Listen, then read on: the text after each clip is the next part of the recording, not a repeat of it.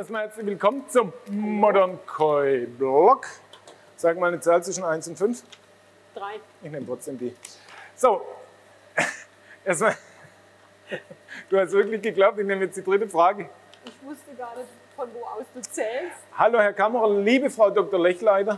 Ich wollte mich erst einmal für die tollen und für mich Koi-Einsteiger unglaublich lehrreichen Videos auf Ihrem Kanal bedanken. Ich besitze einen 35.000 Liter Teich, welcher aktuell mit 12 Nizza in Sansa relativ rar besetzt ist. Mein Plan ist für die kommende Saison, ist mir 25 Tosei anzuschaffen, welche im gleichen Teich aufgezogen werden sollen. Da ich auf Tosei gerne von den anderen Koi futtertechnisch getrennt aufziehen möchte, stellt sich mir nun die Frage, ob es Sinn macht, und auf welche Art und Weise ich das am besten umsetzen soll. Der Teich verfügt über zwei Flachwasserzonen mit einer Teichtiefe von 50 cm und einer Tiefwasserzone mit 1,30 Meter Wassertiefe. Meine Idee äh, war, eine Flachwasserzone mit einem Netz abzutrennen und die Tosei zu Beginn mit 40, 50 Gramm ihres Futters, das ist der entscheidende Punkt, täglich zu füttern. Was halten Sie von meinem Plan? Als Zusatz ist zu erwähnen, dass ich direkt an der Ems wohne und leider oft mit Fischreihern zu tun habe.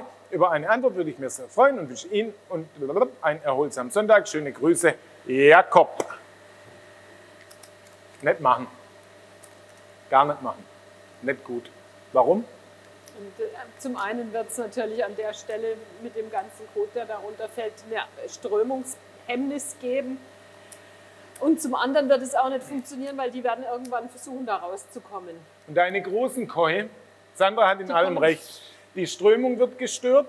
Ja? Also du wirst sowohl im Teich einen schlechteren Schmutzabtransport haben, als auch in der Flachwasserzone. Und selbst wenn du da einen Bodenablauf drin hast, so ein Netz, das bremst die Strömung ohne ja. Ende. Und wichtig ist, dass der Schmutz rauskommt. So.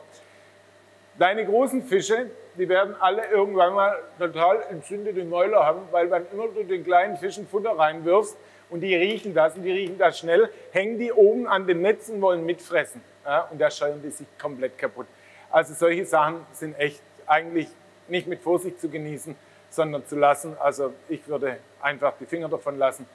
Ähm, und die kleinen Koi brauchen ja auch häufiger Futter über den Tag, wie jetzt größere Koi, deine Nissa oder Sansei, deine kleinen kannst du ruhig 10, 12 Mal am Tag füttern, wenn die Temperaturen hoch sind. Deine großen Koi, die sind nur noch im Stress, nur noch im, im Arm und im Futter. Und das wäre wirklich. Ja, und was soll er jetzt machen? Keine Tosei kaufen.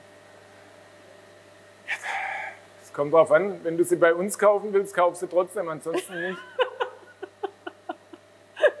okay, das war wirklich ein praktischer das ist, Hinweis. Ja, das ist, was, was soll ich jetzt sagen, kauf keine 25 Tosei. Bau dir dann lieber eine Innenhalterung, statt das Netz zu kaufen und zieh sie dort auf eine vernünftige Größe. Ja? Ähm, ich würde jetzt aber auch keine Tosei mit, mit Riesenfische zusammenwerfen. Das, da tust du auch weder dem einen noch dem anderen gefallen. Der eine braucht viel und die ganze Zeit und der andere braucht, braucht wenig.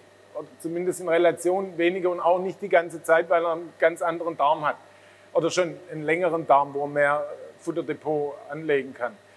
Also, wenn du sie bei uns kaufen willst, komm vorbei, dann finden wir eine Lösung.